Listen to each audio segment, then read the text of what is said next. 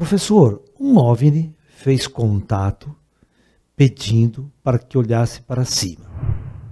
E lá estava uma nave permitindo ser filmada em plena luz do dia. À noite acordei com uma luz laranja no quarto. Isto significa que eu deveria insistir no contato? Bom, todos nós recebemos de alguma intuição, né, algum sinal, pessoas que gostam de ufologia, simpatizam pela ufologia ou pela própria espiritualidade em si, né? De alguma forma são tocadas, né?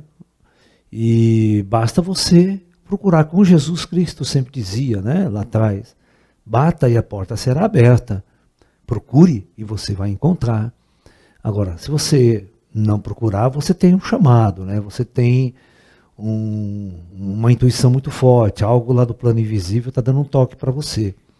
Cabe a você fazer as suas escolhas, né? Investir mais na busca, investir mais no processo da espiritualidade, de se espiritualizar e dedicar mais tempo, mais energia para o seu crescimento espiritual.